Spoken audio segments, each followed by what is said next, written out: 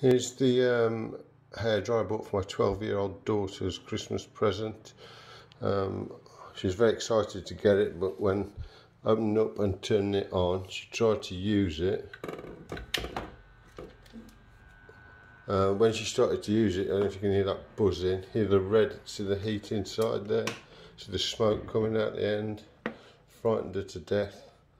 Um, I think this is a low quality product, probably dangerous. Uh, if anyone's got one of these, I really would recommend that they chuck it in the bin and get the money back from Aldi. Uh, frightened my daughter to death, blew the, the uh, house electrics, uh, tripped the whole circuit out.